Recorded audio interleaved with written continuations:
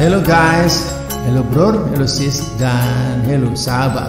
Ketemu lagi di channel Oyon Simbar. Baik, kali ini saya akan coba mengulas atau membedah secara telisik spiritual wasiat leluhur yakni spiritual wasiat Kironggo Warsito. Di mana Kironggo Warsito pernah meramalkan bahwa ada tujuh satria. Ada tujuh satria piningit yang akan muncul sebagai tokoh yang di kemudian hari akan memerintah atau memimpin wilayah seluas wilayah bekas kerajaan Majapahit yaitu Satrio Kinunjoro Murwokuncoro, Satrio Muktiwibowo Kesandung Kesampar, Satrio Jinumput Sumulo Atur, Satrio Lelono Topong Rame, Satrio Piningit Hamung Tuo, Satrio Boyong Pambukaning Gapuro, dan Satrio Pinandito Sinisihan Wahyu. Baik, guys, bro, sis, dan sahabat.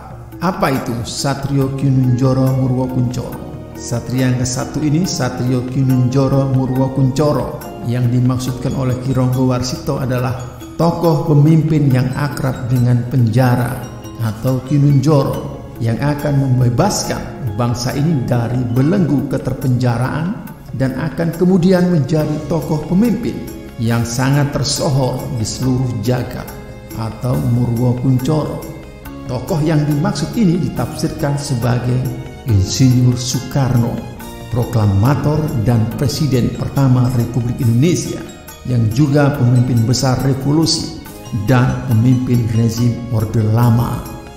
Beliau berkuasa tahun 1945 sampai dengan tahun 1967. Kemudian yang kedua adalah Satrio Mukti Wibowo Kesandung Kesampar. Apa itu Satrio Mukti Wibowo Kesandung Kesampar? Yang dimaksudkan oleh Kironggo Warsito adalah tokoh pemimpin yang berharta dunia atau mukti juga berwibawa ditakuti atau wibowo namun akan mengalami suatu keadaan selalu dipersalahkan, serba buruk, dan juga selalu dikaitkan dengan segala keburukan atau kesalahan yang dimaksud dengan kesandung kesampar. Tokoh yang dimaksud ini ditafsirkan sebagai Soeharto, Presiden kedua Republik Indonesia dan pemimpin rezim Orde Baru yang ditakuti. Beliau berkuasa tahun 1967 sampai dengan 1998. Yang ketiga, Satrio Jinumput Sumulo Atur. Apa itu Satrio Jinumput Sumulo Atur? Yang dimaksudkan oleh Kironggo Warsito adalah tokoh pemimpin yang diangkat atau terpungut dikiaskan sebagai jinumput akan tetapi hanya dalam masa jedah atau transisi atau sekedar menyelingi saja atau sumelo atur. Tokoh yang dimaksud ini ditafsirkan sebagai B.J. Habibie, Presiden ketiga Republik Indonesia. Beliau berkuasa tahun 1998 sampai dengan 1999. Kemudian yang keempat adalah Satrio Lelono Topong Rami. Apa itu Satrio Lelono Topong Rami. Yang dimaksudkan oleh Kironggo Warsito adalah tokoh pemimpin yang suka mengembara keliling dunia atau lelono. Akan tetapi ia juga seorang yang mempunyai tingkat kejiwaan religius yang cukup atau rohaniawan dikiaskan sebagai topong rami Tokoh yang dimaksud ini ditafsirkan sebagai Kiai Haji Abdurrahman Wahid atau Gus Dur, Presiden keempat Republik Indonesia. Beliau berkuasa tahun 1999 sampai dengan tahun 2000. Yang kelima adalah Satrio Piningit Hamung Tuo. Apa itu Satrio Piningit Hamung Tuo?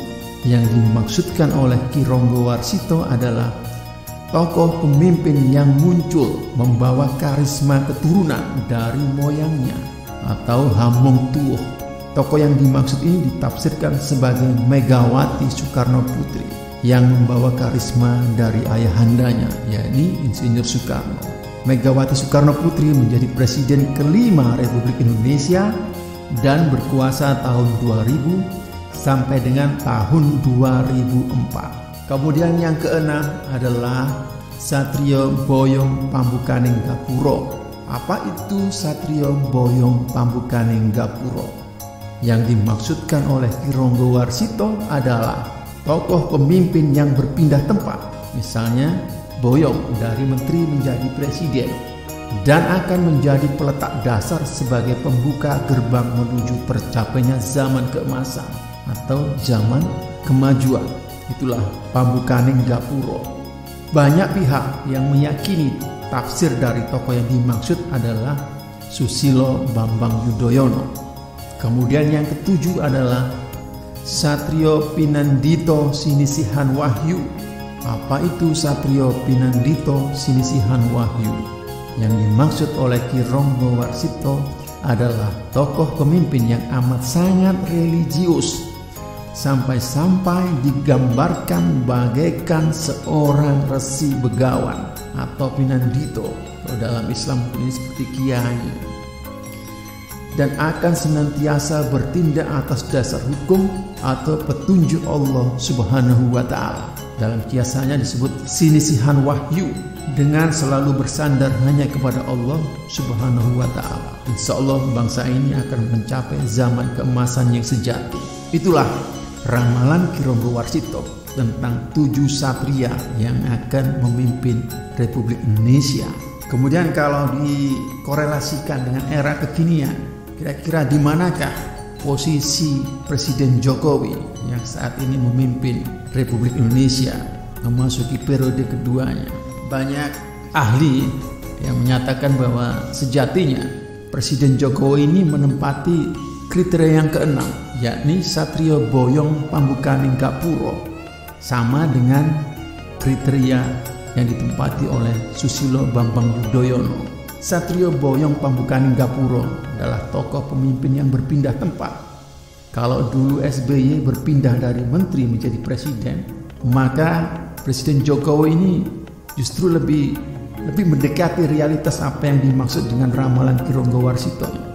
Presiden Jokowi berpindah dari wali kota Solo, kemudian Boyong menjadi gubernur DKI Jakarta, kemudian naik lagi, Boyong lagi menjadi Presiden Republik Indonesia. Bahkan yang paling mutakhir kekinian adalah mengenai kebijakan Presiden Jokowi yang akan memindahkan boyongnya ibu kota dari DKI Jakarta akan diboyong ke wilayah Kalimantan. Guys, bro, dan sahabat, betapa dahsyatnya ramalan Kironggo Warsito ini. Semakin zaman bergulir, zaman berlalu, ramalannya semakin mendekati realitas. Betapa dahsyatnya ramalan Kironggo Warsito ini. Jadi mengenai kriteria satria keenam yaitu satria Boyong Pambukaning Gapuro yang dimaksudkan oleh Kironggo itu adalah tokoh pemimpin yang berpindah tempat. Kalau SBY berpindah tempat dari menteri naik menjadi presiden, kalau Jokowi berpindah tempat dari wali kota Solo menjadi gubernur DKI kemudian menjadi presiden. Bahkan yang paling mutakhir kebijakan beliau Presiden Jokowi yang akan memboyong ibu kota negara dari DKI Jakarta akan diboyong ke Kalimantan. Betapa dahsyatnya ramalan Kironggo Warsito ini. Baik guys, proses dan sahabat. Saya akan coba menggali lebih dalam lagi pada konten yang berikutnya. Kalau Anda tertarik, jangan lupa like, share, dan subscribe bagi Anda yang baru mampir ke channel saya. Terima kasih, saya Oyo Simba.